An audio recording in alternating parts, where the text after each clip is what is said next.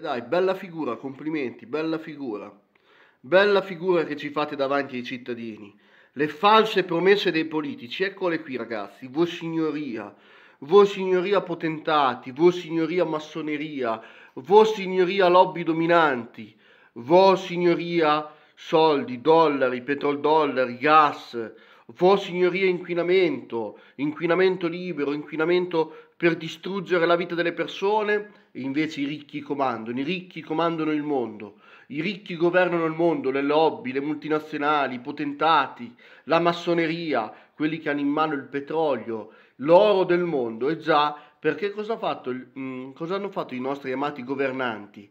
Hanno dato il via libera alle trivelle perché non è passata la moratoria che doveva sospendere le concessioni, cioè ho letto eh, vagamente, nel senso le concessioni eh, rimanevano in essere, però c'era una moratoria, una sospensiva che non è, stata, non è stata prolungata. Diciamo che i ministri si sono casualmente addormentati eh, sotto le lenzuola e quindi eh, mh, mm, leggevo il comunicato dei Verdi, stat- è stato dato via libera a 53 ehm, trivelazioni. Questo è, da- questo è il dato, questo è il dato, capito? Quindi eh, col benestare dei poteri forti si, in- si, continua a inquinare. Il problema è che le promesse erano differenti perché all'opinione pubblica si dà in pasto ciò che conviene, però il potere se lo spartiscono in pochi